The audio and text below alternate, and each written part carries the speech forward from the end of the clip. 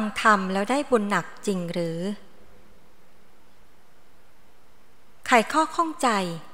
การฟังพระธรรมเทศนา จะทำให้ได้รับบุญหนักอานิสงส์แรงจริงหรือ มาหาคำตอบไปพร้อมกันค่ะคำว่าบุญกุศลจริง ๆ แล้วหมายถึงอะไร ความหมายของคำว่าบุญกุศลโดยทั่วไป หมายถึงการกระทำความดี ซึ่งมาจากภาษาบาลีว่าปุญญะ แปลว่าเครื่องชำระจิตใจให้สะอาดบริสุทธิ์ ดังนั้นการสร้างบุญจึงเปรียบเสมือนการสร้างเครื่องกำจัดกิเลส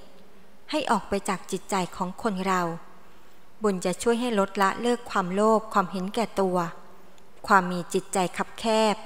อันเป็นสาเหตุให้เกิดความทุกข์ต่างๆ นานา และก็ช่วยให้ใจเป็นอิสระ พร้อมจะก้าวไปสู่การทำคุณงามความดี ในขั้นต่อไป เป็นการยกระดับจิตใจให้สูงขึ้นทำให้เกิดความอิ่มเอิบใจ มีความสุขสงบ ฟังธรรมได้บุญหนักจริงหรือ มีข้อมูลจากธรรมสวนสูตร พระไตรปิฎกเริ่มที่ 22 พระสุตตันตปิฎกอังคุตระนิกาย ปัญจกะ จากการนิบาตข้อ 202 ระบุไว้ว่า การฟังธรรมแล้วจะได้บุญนั้น ธรรมะที่ฟังจะต้องเป็นธรรมะของพระพุทธเจ้า และต้องตั้งใจฟัง และพยายามทำความเข้าใจ จึงจะได้บุญ โดยพระพุทธเจ้าได้ตรัสถึงอนิสงค์ของการฟังธรรม เอาไว้ดังนี้ ข้อที่หนึ่งได้ฟังสิ่งที่ไม่เคยฟัง 2. สิ่งที่เคยฟังมาแล้ว หากยังไม่เข้าใจก็จะเข้าใจยิ่งขึ้น 3. บรรเทาความสงสัยได้ 4. ทำให้มีความเห็นที่ถูกต้อง และ 5. ทำให้จิตผ่องใส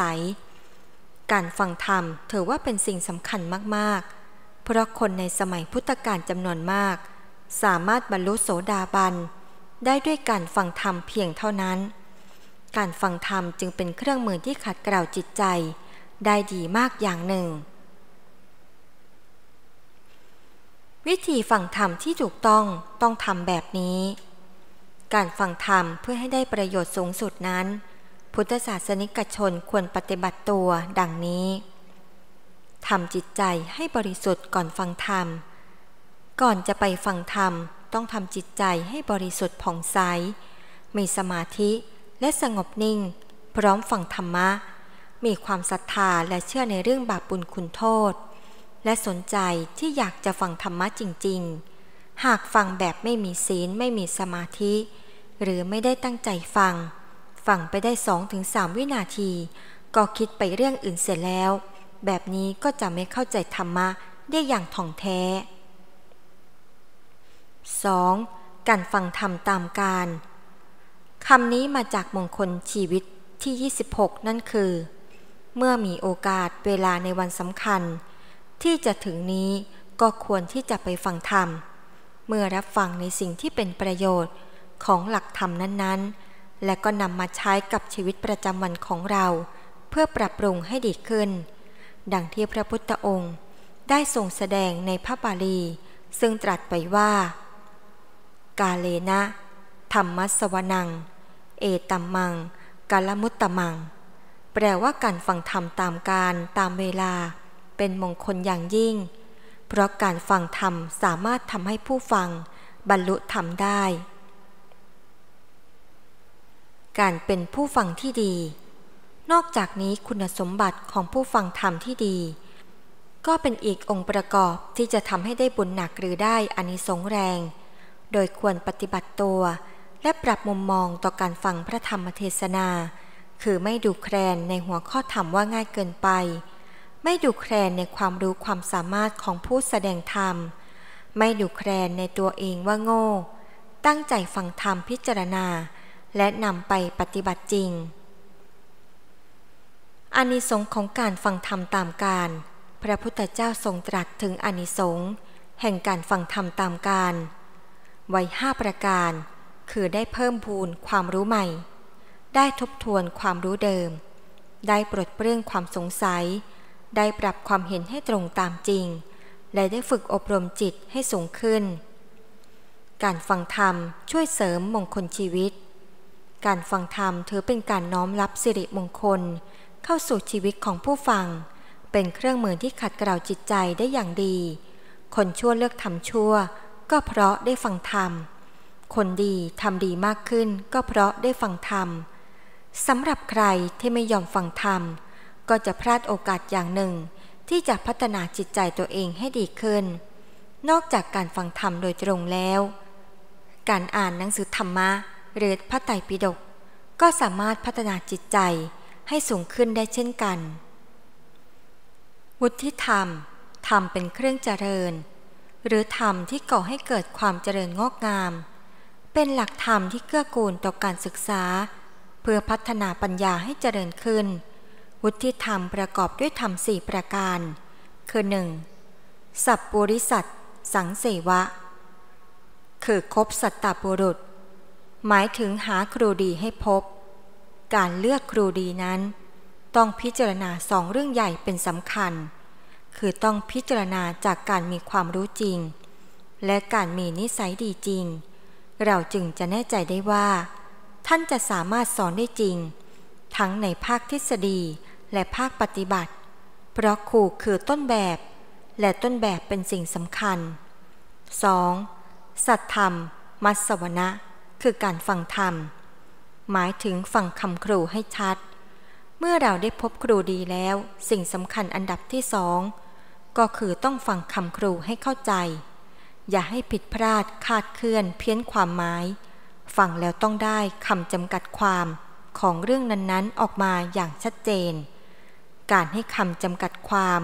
คือการกำหนดความหมายที่ถูกต้องและชัดเจน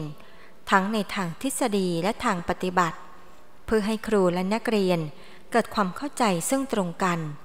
วิธีการหาคำจำกัดความแบบง่ายๆ ก็คือการตั้งคำถามในเรื่องที่เรียน ด้วยคำว่าอะไร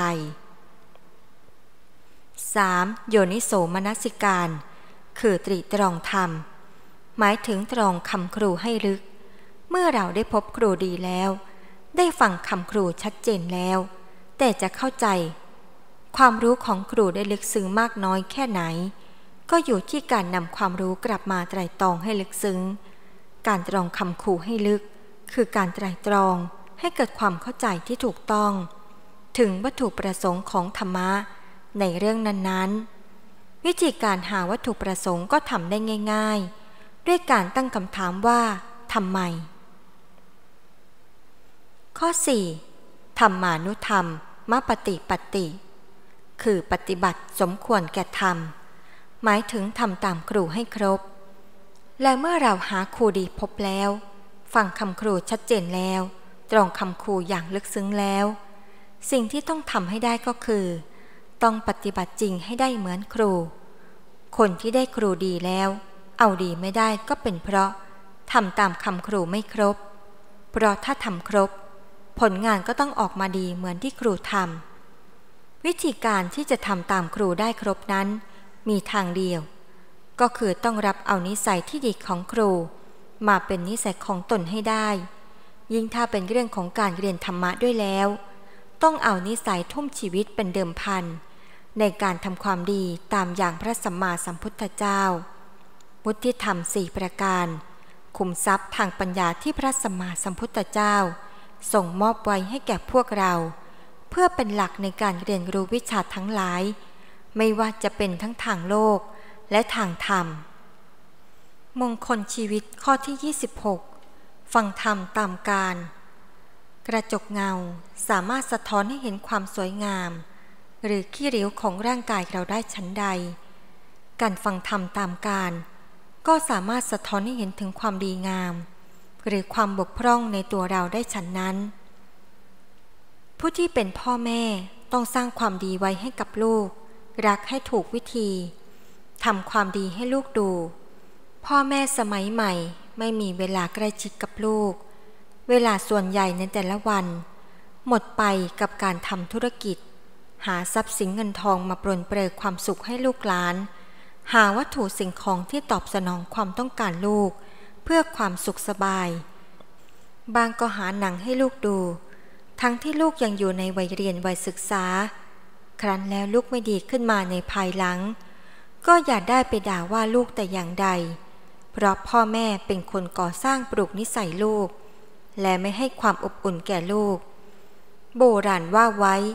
มีลูกมีหลานจะต้องแต่งใจลูก คือพาลูกหลานไปวัด ให้ได้มีความสัมพันธ์กับวัด เมื่อเห็นพระสงฆ์สอนลูกยกมือไหว้ อยู่บ้านสอนลูกสวดมนต์ไหว้พระให้เป็นค่านิยมพื้นฐาน การฟังธรรมตามการ คือการขวัญขวายหาเวลาไปฟังธรรม ฟังคำสั่งสอนจากผู้มีธรรมะ เพื่อยกระดับจิตใจ และสติปัญญาให้สูงขึ้น โดยเมื่อฟังธรรม แล้วก็น้อมเอาคุณธรรมเหล่านั้น มาเป็นกระจก สะท้อนดูตนเองว่ามีคุณธรรมนั้นหรือไม่ จะปรับปรุงคุณธรรมที่มีอยู่ ให้ดียิ่งยิ่งขึ้นไปได้อย่างไร ตัวอย่างเช่น เมื่อได้ฟังธรรมเรื่องความกตัญญูก็นำเรื่องนี้มาสำรวจดูใจของตนเองทันทีว่า เรามีความกตัญญูไหม ถ้ามีมีมากน้อยเพียงใด เมื่อฟังธรรมแล้วสำรวจดูจะรู้ทันที ว่าเราขาดอะไรไป จะปรับปรุงแก้ไขอย่างไรจึงจะดี การที่ควรฟังธรรม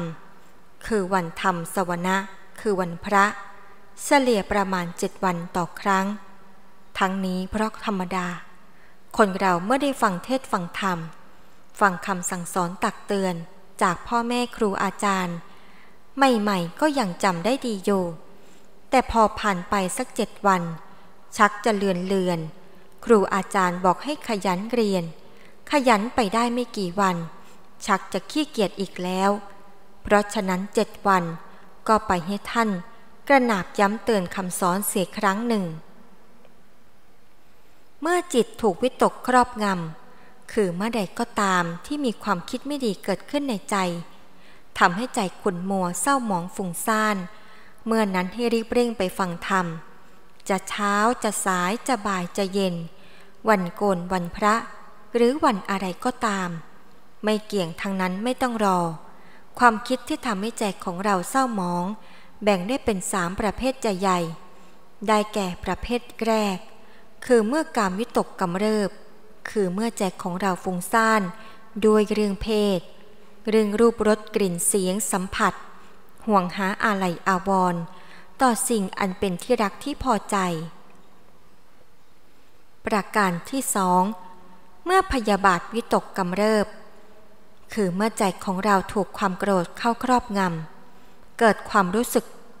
อยากล้างผานทำลายผู้อื่น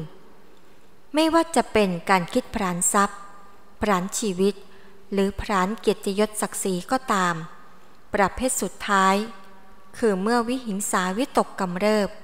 คือเมื่อใดที่ใจของเรา เกิดความคิดอยากจะเบียดเบียนผู้อื่น คิดจะเอาเปรียบ คิดจะกลั่นแกล้งรังแกเขา เมื่อใดที่ความคิดทั้งสามประเภทนี้เกิดขึ้น ให้รีบไปฟังธรรม อย่ามัวชักช้า มิฉะนั้นอาจไปทำผิดพลาดเข้าได้ เมื่อมีผู้รู้มาแสดงธรรม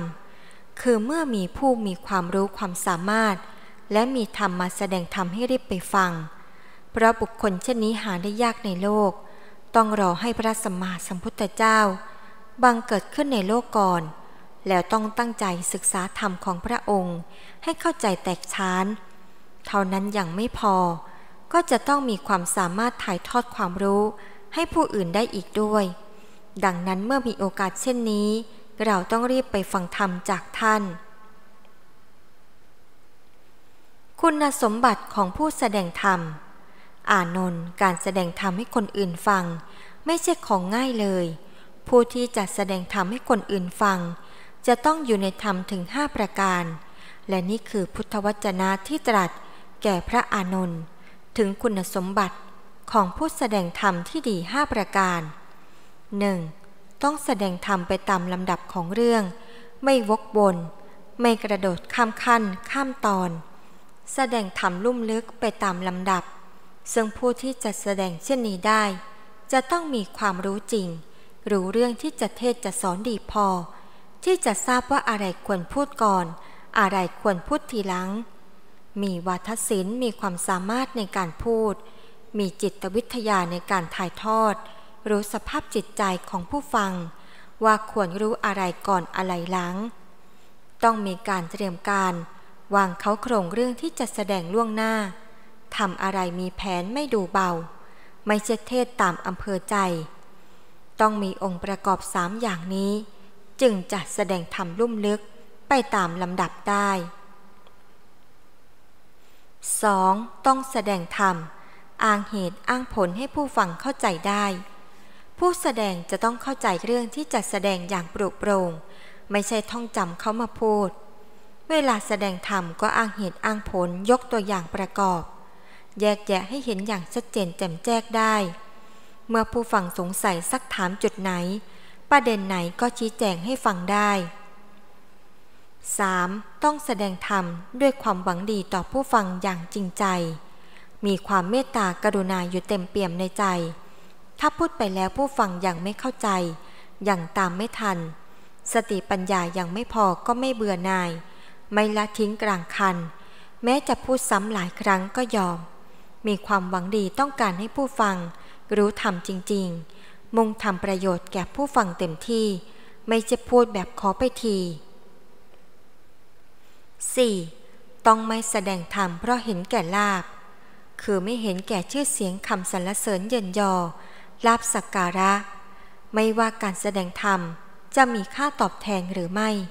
จะมีคนมาฟังมากน้อย ก็ไม่ถือเป็นอารมณ์ แสดงธรรมอย่างเต็มที่ ไม่ใช่ว่างานของคนใหญ่คนโต ก็แสดงเต็มที่ แต่งานของคนธรรมดาสามัญก็แสดงกระล่อมกระแล่มไม่เป็นเรื่องเป็นราว ถ้าผู้ใดแสดงธรรมเพราะเห็นแก่ลาบ ผู้นั้นก็เป็นเพียงลูกจ้างของคนฟัง กระแสเสียงที่แสดงก็มักจะเต็มไปด้วยการประจบประแจงเจ้าภาพ ซึ่งเป็นนายจ้าง ข้อ 5 ต้องไม่แสดงธรรมกระทบตนเองหรือผู้อื่น คือไม่ฉวยโอกาสยกตัวอย่างความดีของตัวเองเพื่อโอ้อวด หรือยกความผิดพลาดของคนอื่นเป็นตัวอย่าง เพื่อประจานความผิดของเขา ไม่ใช่ถือว่ามีไมโครโฟนอยู่ในมือ ก็คุยอวดตัวทับถมคนอื่นเรื่อยไป ผู้พูดต้องมุ่งอธิบายธรรมะจริง ๆ หากจะยกตัวอย่างเรื่องใดประกอบ พื่อเป็นข้อสนับสนุนให้ผู้ฟังเข้าใจข้อธรรมะที่แสดงอยู่ ก็ต้องระวังไม่ให้ผู้อื่นเสียหาย การช่วยโอกาส เวลาแสดงธรรมใส่ร้ายปายสีผู้อื่นเป็นการกระทำผิดหลักธรรมคำสอนของศาสนาพุทธ เราจะเห็นได้ว่าพระสัมมาสัมพุทธเจ้า ทรงวางวิธีการเผยแผ่ศาสนาของพระองค์ไว้อย่างรอบคอบ แทนที่จะมุ่งแต่แผ่อิทธิพลศาสนาของพระองค์ และทับถมโจมตีศาสนาอื่น กลับทรงวางคุณสมบัติ ควบคุมผู้ทำการสอน พระพุทธศาสนาไว้อย่างรัดกุม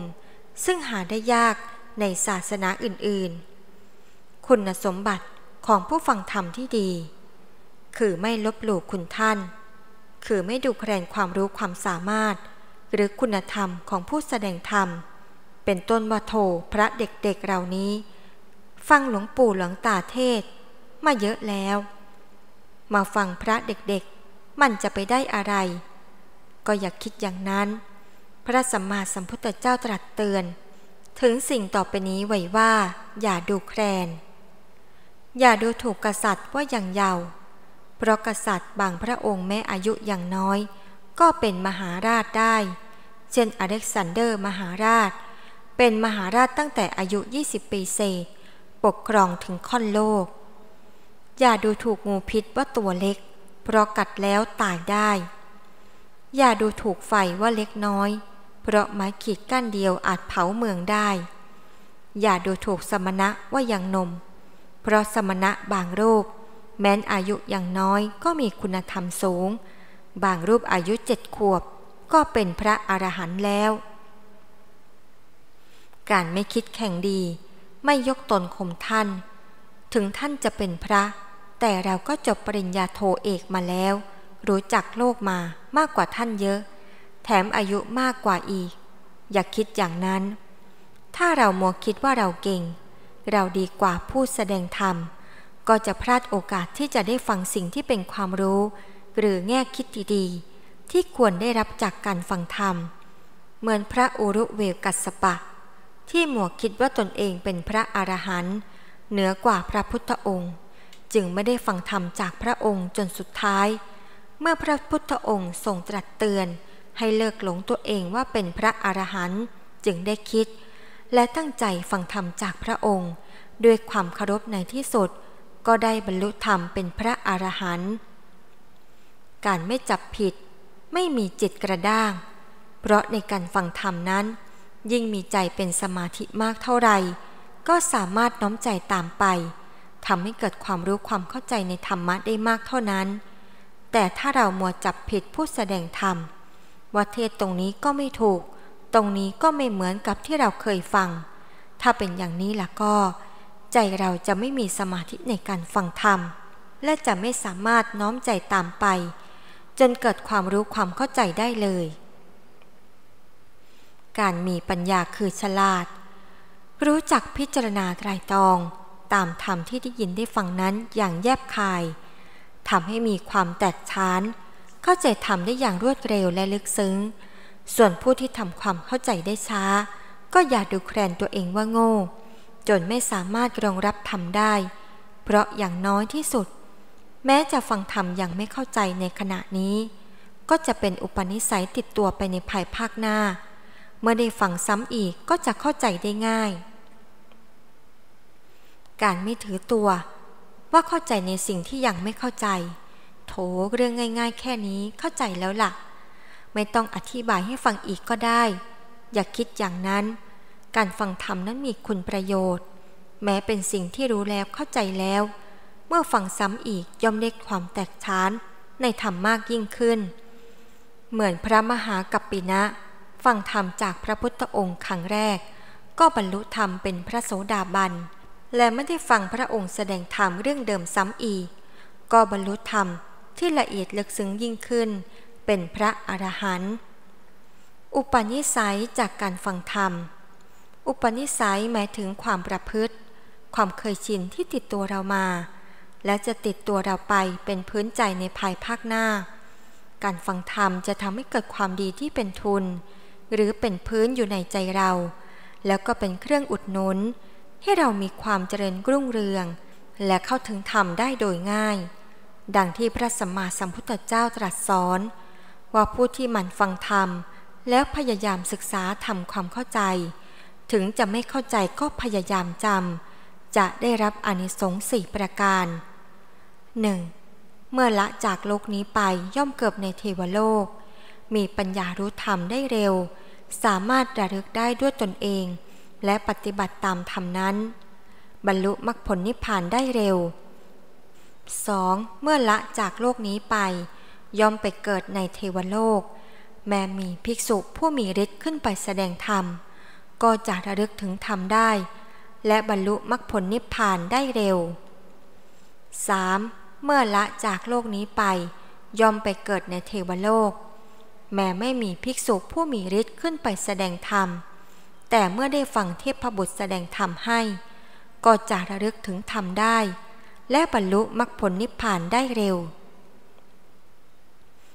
4. เมื่อละจากโลกนี้ไป ย่อมไปเกิดในเทวโลก แม้ไม่มีภิกษุผู้มีฤทธิ์หรือเทพบุตรมาแสดงธรรม แต่เมื่อได้ยินคำตักเตือนจากเพื่อนเทพบุตรด้วยกัน ก็สามารถระลึกทำได้ และบรรลุมรรคผลนิพพานได้เร็ว พวกเราที่สวดมนต์ทำวัดเช้าเย็นกันบ่อยๆ แม้ยังไม่เข้าใจความหมายของคำบาลี แต่ก็ไม่เสียเวลาเปล่า เพราะอย่างน้อยก็ทำให้เกิดความสงบทางใจ และเกิดความคุ้นเคยในสำเนียงภาษาธรรมะ พบเบื้องหน้า ได้ยินใครสวดมนต์ก็อยากเข้าใกล้ ได้ยินใครพูดธรรมะก็อยากเข้าใกล้ทำให้มีโอกาสได้ฟังธรรม ฟังแล้วก็เข้าใจได้ง่าย เพราะมีอุปนิสัย พื้นใจมาแต่เดิมแล้วทำให้บรรลุมรรคผลนิพพานได้เร็ว